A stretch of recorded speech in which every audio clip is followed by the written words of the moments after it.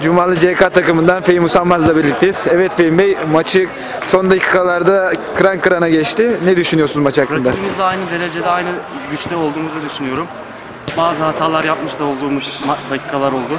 Ama güzel mücadele ettik. Güzel goller attık. İyi bir hafta maç çıkardığımız için rakibimize ve kendimize teşekkür ederiz.